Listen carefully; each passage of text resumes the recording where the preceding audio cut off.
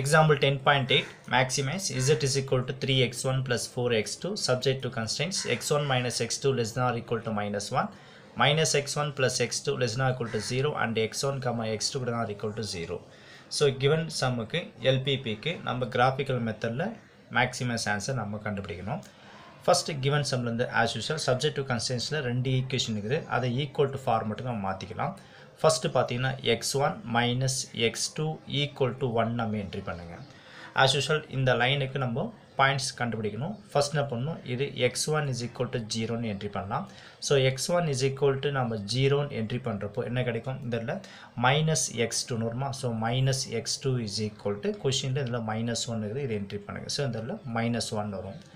Compare பண்ணுறோம் minus minus remove ஆகிடும் இதுலேருந்து X two is equal to one அப்போது X one is equal to ஜீரோன்னு கொடுத்தா எக்ஸ் டூ ஆன்சர் நம்ம ஒன் கிடைக்குது.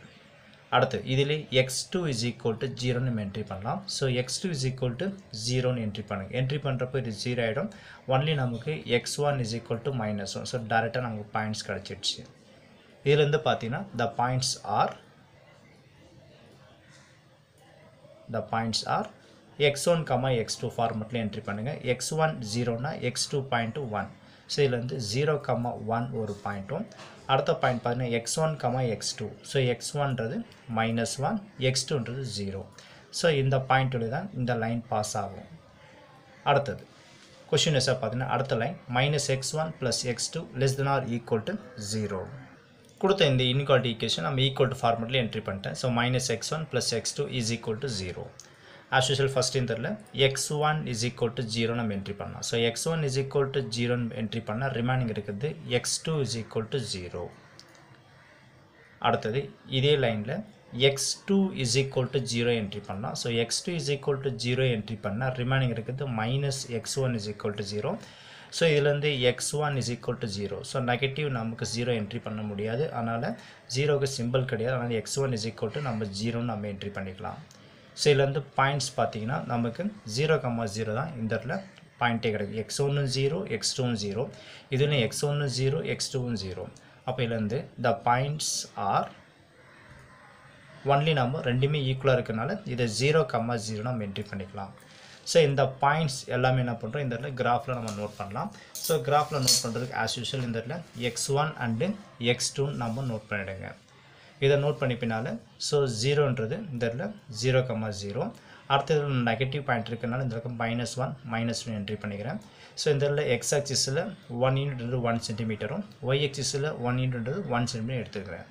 இப்போ பாருங்கள் பாயிண்ட் நம்ம நோட் பண்ணிக்கலாம். So zero comma one so X ஒன்றது zero X டூன்றது ஒன் ஸோ ஜீரோ கம்மா ஒன்னுன்றது ஸோ நமக்கு இங்கே இருக்கும். ஸோ இந்த பாயிண்ட் நம்ம ஏன்னு நோட் பண்ணிக்கலாம். ஸோ இந்த பாயிண்ட் வந்து ஜீரோ கம்மா ஒன் அடுத்த பாயிண்ட் பார்த்தீங்கன்னா இந்த இடத்துல minus one comma zero so X ஒன்றது இந்த இடத்துல மைனஸ் ஒன் எக்ஸ் டூன்றது நமக்கு இதில் ஜீரோ அதாவது மைனஸ் ஒன் கம்மா ஜீரோன்றது இந்த பாயிண்ட்டு பின்னு நம்ம நோட் பண்ணிக்கலாம். ஸோ இதை நம்ம நோட் பண்ணுங்க. இதை minus one comma zero so இந்த ரெண்டு பாயிண்ட் வழியாக தான் இந்த லைன் நமக்கு பாஸ் ஆகுது. ஸோ இந்த ரெண்டு பாயிண்ட் வழியாக ஒரு லைன் நம்ம ட்ரா பண்ணிடலாம். இந்த ரெண்டு பாயிண்ட்டில் லைன் ட்ரா பண்ணியாச்சு. இந்த லைனோட ஈக்குவேஷன் நம்ம என்ட்ரி பண்ணலாம். இந்த லைனோட ஈக்குவேஷன் பார்த்தீங்கன்னா கொஷின் வைஸாக X one minus X two is equal to minus one so இதை என்ட்ரி பண்ணுங்கள் X one minus X two is equal to minus one entry பண்ணிடலாம். அடுத்தது செகண்ட் ஈக்குவேஷன் செகண்ட் ஈக்குவேஷனில் பாயிண்ட்ஸ் பார்த்தீங்கன்னா ஸோ ரெண்டுத்துக்கும் சேர்த்து ஜீரோ கம்மா ஜீரோ தான் இருக்குது. ஸோ அப்போ பார்த்தீங்கன்னா இந்த இடத்துல ஜீரோ கம்மா ஜீரோன்றது பாயிண்ட் வழியே அந்த லைன் பாஸ் ஆகுது. அப்போ ஜீரோ கம்மா ஜீரோன்றது இதுதான். அப்போ ஜீரோ காமா ஜீரோ என்ற பாயிண்ட் வழியாக இந்த லைன் பாஸ் ஆகுதுன்னு அர்த்தம். ஸோ இங்கே ஒரு லைன் ட்ரா பண்ணிடலாம். ஸோ இதில் பார்த்தீங்கன்னா ஜீரோ காமா ஜீரோ இந்த பாயிண்ட் வழியாக நம்ம என்ன பண்ணிட்டோம்? ஒரு லைன் ட்ரா பண்ணியாச்சு.